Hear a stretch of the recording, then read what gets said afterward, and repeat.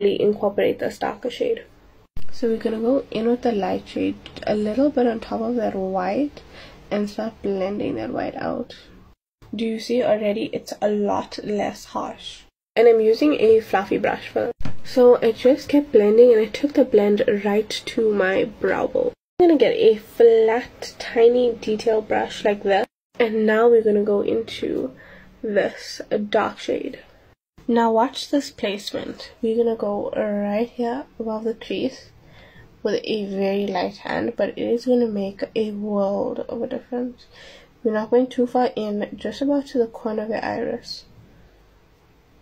Do you see that placement? Now we're gonna go in with our brush and blend it upwards, not downwards. Do you see the difference that that made? Now with an even smaller brush, this is a lip brush, I'm gonna go into this shade right here. I'm to finish up the eyes in part two, you guys.